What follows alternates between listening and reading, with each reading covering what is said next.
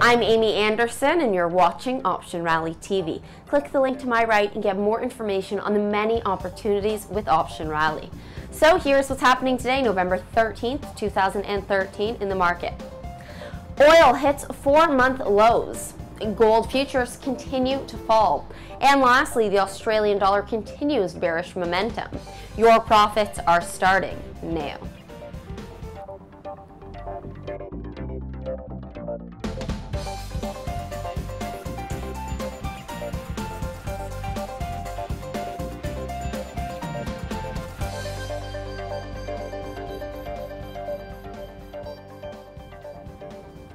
Crude oil virtually hit a four month low, blamed on anticipation for tomorrow's crude oil inventories.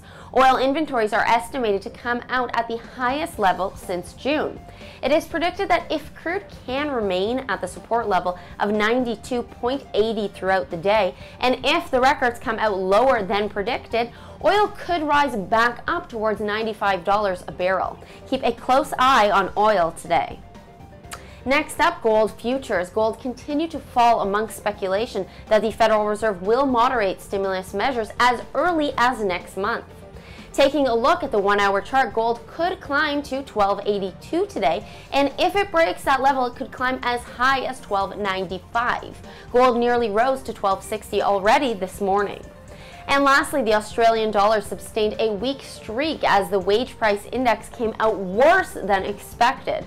According to the graph, the AUD to USD has touched the daily support at 0.9280, and the duo is expected to rise by at least 100 pips, nearing the 0.9400 mark.